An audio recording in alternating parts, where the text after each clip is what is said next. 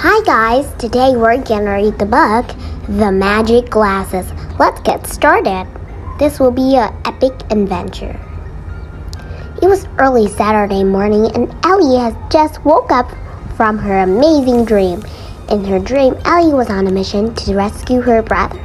Disguised in her cloak, Ellie rode her horse through the dense woods and the high icy mountains. Ellie couldn't wait to share her dreams.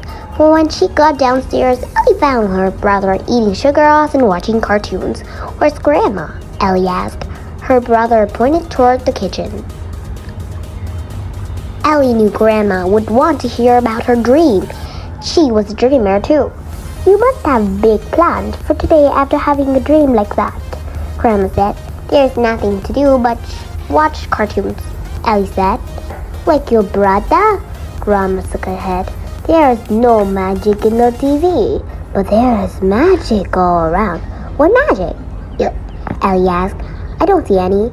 Come now, Ellie, she said. You just need to see more clearly.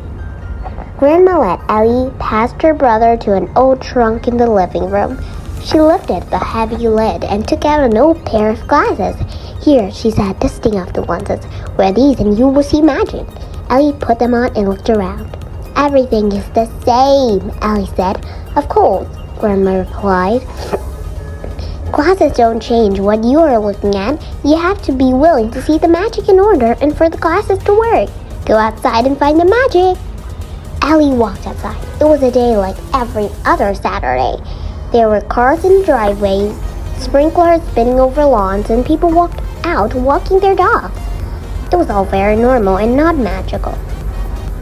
Slowly, everything shifted. The cars became silver, bug-eyed monsters. The sprinklers shot high, become endless enchanted fountains, and the cables overhead sparkled and hummed, shooting purple power to all the houses on the block. The warm sun shone through the pines and ferns, making everything a dreamy green. In the playground, children rode whales carved in stone and climbed iron bars shaped like rocket ships. They pretended to be divers and astronauts, and a moment really became them. Across from the park, the museum was just opening. Ellie went inside. The halls brought her to jungles and savannas ruled by apes and elephants. People from ancient civilizations used dust, rocks, and buildings to make old buildings.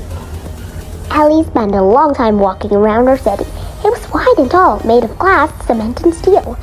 But Ellie saw ice sculptures walking on warm, soft sand and marveled at the buildings made of stardust. When Ellie returned home, Grandma was eating lunch in the kitchen. How was it? Magical, Ellie said. She took off the glasses and handed back to Grandma. Here, she said. I don't need these anymore. I can see fine. Think about it. What is the moral of the story? One made the glasses work for Ellie. What does the picture on the last page tell you about Ellie? Guess those. The end. Thank you for watching.